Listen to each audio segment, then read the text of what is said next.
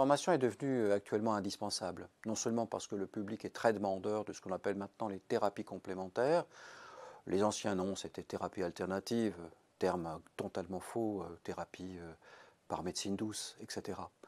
Donc ces thérapies complémentaires, c'est vraiment apporter à tous les soignants, mais à tous les professionnels de santé, une autre facette de, leurs soins, en, toute sécurité bien sûr, et donc apporter un élément informatif euh, qui jusqu'à présent n'existait pas. Et donc cette approche est celle qui est maintenant validée et qui permet de faire une évaluation euh, qualitative euh, des soins et donc réellement novateur pour, notre système de santé et qui n'est pas du tout en opposition, contrairement à ce que l'on peut parfois penser, avec les soins dits conventionnels dans les hôpitaux, mais aussi à l'extérieur des hôpitaux. Donc c'est une vraie transition avec les patients et euh, une plus-value indispensable actuellement dans l'évolution.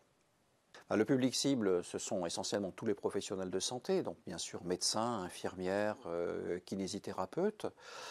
Euh, qui ont besoin de, cette approche parce qu'ils ne l'ont jamais eu dans leurs études. Et c'est donc bien sûr euh, tous ces professionnels-là.